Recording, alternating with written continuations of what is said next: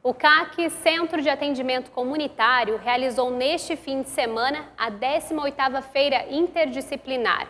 O evento apresenta as inúmeras atividades realizadas pelos alunos das oficinas da Rede de Desenvolvimento Social Canção Nova. Para começar, tem o judô e o catar do karatê. As pequenas chegam com o balé. E a sintonia na coreografia adolescente. A feira interdisciplinar revela muitos talentos e muitos artistas. Que da hora os quadros, eu nem tinha visto. Dá até para aprender manutenção de computador com o professor Douglas. E futsal com o professor Daniel Fogaça.